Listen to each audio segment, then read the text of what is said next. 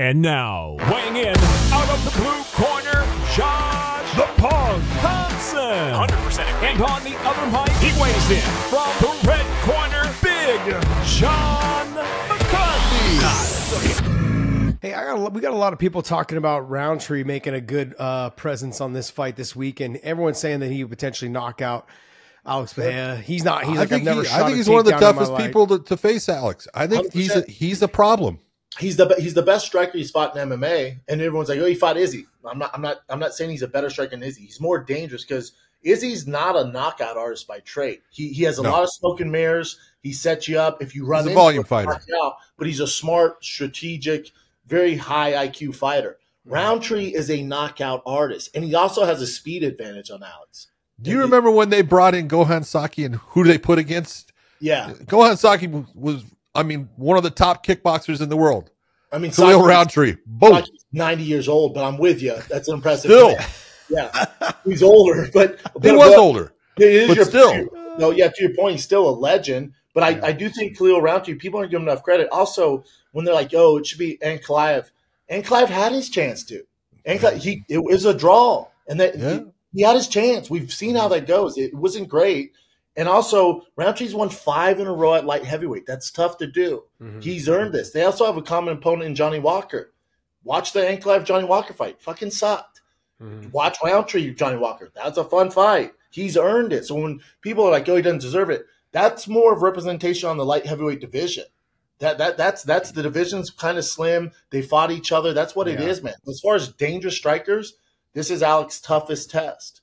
Now, is can round is Rountree going to win? I, I won't go on the limb and say that. You know, Alex is a mm-hmm. monster, but I wouldn't be surprised. Two mm-hmm. guys, we can guarantee there's no grappling at all involved here. Rountree's never shot mm-hmm. his career. Alex is batting 100%. He's one for one. He took Izzy down one time. So he's 100% takedown, which is pretty legit. But no, but this is going to be a straight striking match, dude. And Rountree is a he, he, he's a quicker fighter, and he's a southpaw, Mm. and he fucking he's a big dude, and he doesn't he doesn't do a lot of footwork, so somebody's getting knocked out. Take my money, dude. Yeah, it's going to be hard to land that left hook though. If for for Alex, I think the one thing is because he is uh, Khalil is a southpaw. It's going to be harder for him to land that left hook. You know, that's his bread and Khalil butter. has a great right hook. Khalil has a great right hook, man. It's trouble. It could be trouble. I just look at Alex. He's just so damn big for the weight, even at 205. He was huge at 185. He's huge at 205. I mean, the, the talk of him potentially going to heavyweight maybe down the line. But I mean, he, he's a big guy with big power. And his leg kicks, there's nothing on him, but they seem to do damage to everyone that he touches with them. Yep. Yep. And the way he checks the leg kicks creates issues for guys. He's just a really high level, calculated guy. He's probably the biggest star in the UFC. You know, everyone wants to see this guy fight. He's not great on the mic, yet he's this massive star. I, I Doesn't- love this. He doesn't have to be. He's got that look. Yeah. Everyone goes, Whoa. He has the look because he's knocking cats out. And like everybody else wants to get on TikTok, do these skits all the goddamn time to hype the fight. Alex doesn't even talk. Yeah. and he's just like, "Yep," and we're buying the fight. Like that's what I like. That's what I'm. I'm all about that. I think Alex. You know, it's going to get a little weird if, if he takes out Rountree. Um, or Rountree, you have. You know, you're, you're always going to have Ankalaev there, and then after that, it, it gets a little weird. I think we're going to see a lot more super fights in the future.